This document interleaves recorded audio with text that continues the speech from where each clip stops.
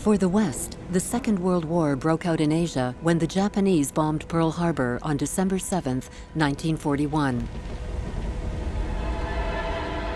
In contrast to Ishiwara, Itagaki was a man of action and a man who inspired confidence and respect.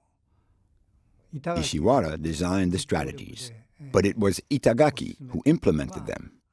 He should be seen as Ishiwara's second in command. The attack on Shanghai on January 28, 1932, shocked the entire world. The Japanese Air Force bombed the city indiscriminately, forcing the terror stricken citizens to flee in droves. The Chinese army put up fierce resistance, and the fighting degenerated into a series of pitched battles.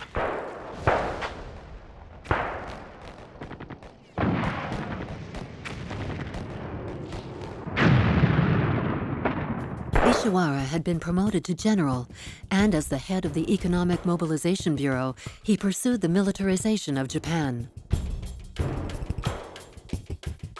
In preparation for the total war to be waged against the USSR and then the United States, the country's industries were entirely devoted to the production of military equipment.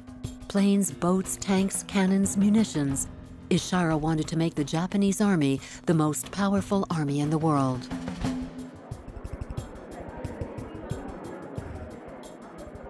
The Japanese, aided by the artillery of the Imperial Navy, had a decisive advantage. In spite of the heroic resistance put up by the Japanese soldiers, the city was taken.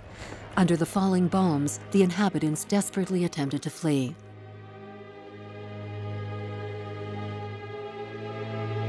From his office in Tokyo, Ishiwara could do nothing to stop the invasion, which in his opinion was suicidal.